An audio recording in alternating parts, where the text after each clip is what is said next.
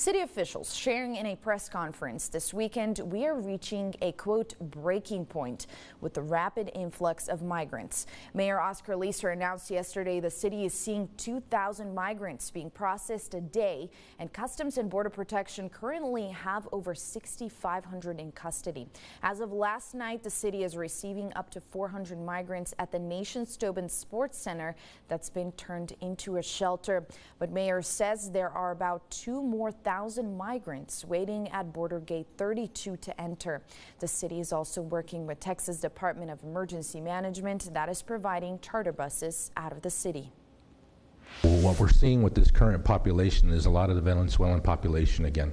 With that comes a lot of people without the means to get to their final destinations. So we've been in discussions with TDEM for well over a week. They've been staging. We've been trying to hold it back from having to do that because you don't want to create that additional draw. Uh, every individual that boards one of those buses is going voluntarily. They, they sign a form stating that they're going uh, voluntarily to the destination of their choice. Uh, no one is being forced.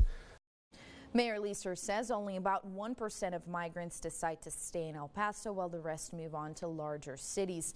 All expenses to accommodate migrants are being funded by the federal government and not the local taxpayers.